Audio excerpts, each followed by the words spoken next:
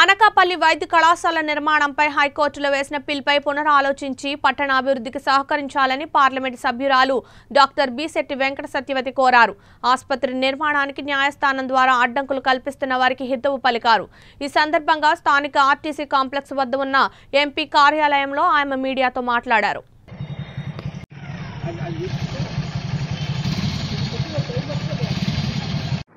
మరి అనకాపల్లి ప్రాంతానికి ఐదు వందల కోట్లతో మెడికల్ కాలేజీని శాంక్షన్ చేయటం మరి రాష్ట్ర వ్యాప్తంగా వర్చువల్గా గౌరవ ముఖ్యమంత్రి గారు జగన్మోహన్ రెడ్డి గారు ఫౌండేషన్ స్టోన్ వేయటం మనందరికీ తెలుసు.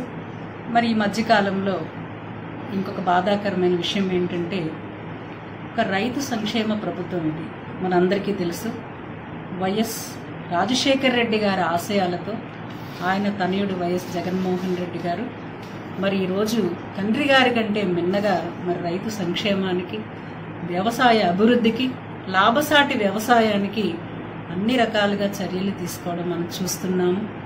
ఎప్పుడైనా విన్నామా? రైతు భరోసా కేంద్రాలు కేంద్రాలను పెట్టి వాటి ద్వారా నాణ్యమైన మరి విత్తనాలు ఎరువులు పురుగుల మందులు అన్నీ కూడా ఇచ్చి మరి మంచి వ్యవసాయాన్ని మంచి లాభసాటి వ్యవసాయాన్ని యా- ఆర్యఆర్ఎస్ లాంటి మరి ప్రాచీన చరిత్ర కలిగిన మరి ఆ ఇన్స్టిట్యూట్ని మరి డిస్టర్బ్ చేస్తుంది అన్న కాన్సెప్ట్ అనేది కరెక్ట్ కాదని నేను మీ ద్వారా తెలియజేయాలని అనుకుంటున్నాను. ఎందుకంటే దాన్ని ఒకసారి పరిశీలించి రీసెర్చ్ ఎంత జరుగుతుందో చూసి ఆ ప్రాంతంలో మరి ఇప్పటి వరకు ఉన్న ఆ కాలేజెస్ కానీ వాళ్ళకున్న ఆఫీసులు కానీ వాళ్ళకి ఇప్పుడు ఎక్కడైతే పరిశోధన జరుగుతుందో అసలు ఆ ఏరియాని ఎక్కడ కూడా టచ్ చేయడం జరగలేదు.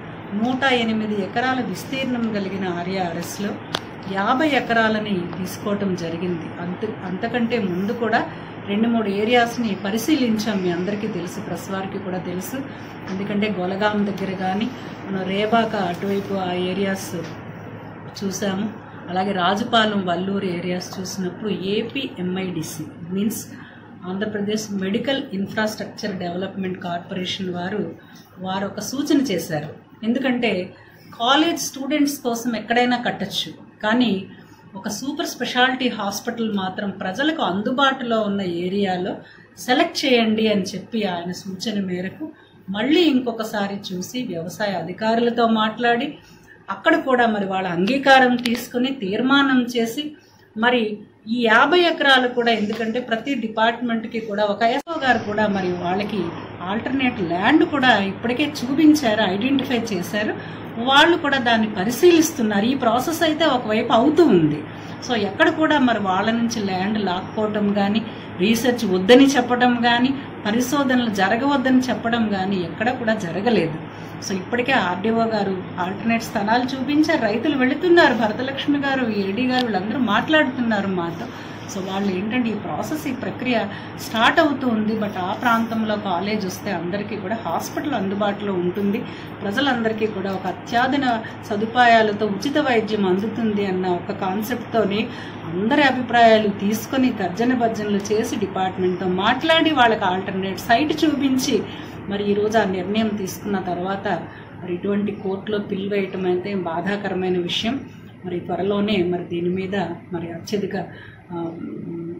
super committee high power committee అంతా కూడా మేము గౌరవ ముఖ్యమంత్రి గారి దృష్టికి కూడా తీసుకొని వెళతాము. ఎందుకంటే ఎవరు కూడా వ్యవసాయాన్ని ఇంత చక్కగా మరి వ్యవసాయాన్ని పండగ చేయాలన్న ఈ ప్రభుత్వంలో మరి ఆర్ఏఆర్ఎస్ లాంటి సంస్థల్ని నిర్వీర్యం చేస్తున్నారు అనేది అది అభూత కల్పనే అని నా వ్యక్తిగత అభిప్రాయం.